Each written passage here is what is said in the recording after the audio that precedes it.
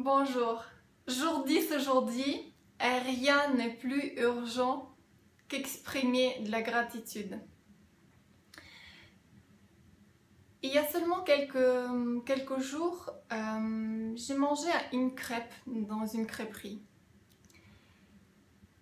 Et euh,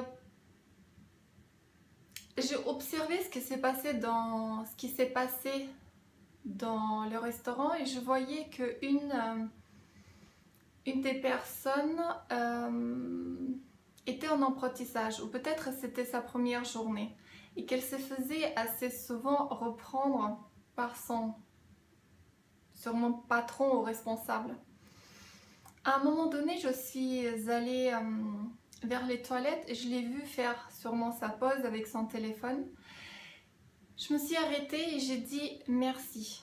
Merci beaucoup euh, parce que j'ai apprécié d'être servie par vous. Je trouve que vous êtes euh, une personne agréable. Et euh, entre filles, j'ai osé dire que j'aimais beaucoup ces boucles d'oreilles. Je l'ai vue me regarder, elle était surprise. Il y avait un temps d'attente. Et après, elle a dit oui, ces boucles, elles viennent de Barcelone. Et vous savez, c'est ma première journée. Et j'étais très inquiète.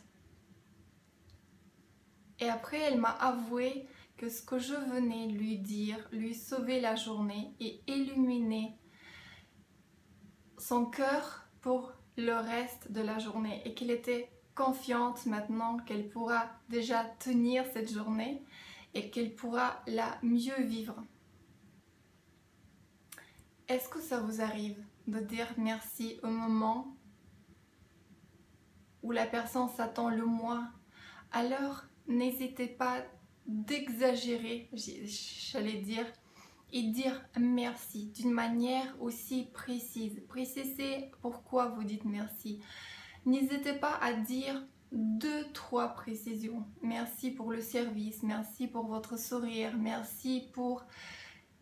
Peu importe où vous êtes, peut-être vous êtes à la banque ou vous êtes dans un endroit où vous-même vous sentez pas très très bien, mais mettez les gens à l'aise et vous allez être à l'aise et vous allez vraiment pouvoir recevoir ou bien donner un bon service. Rien n'est plus urgent qu'exprimer votre gratitude. Une bonne journée et à très bientôt.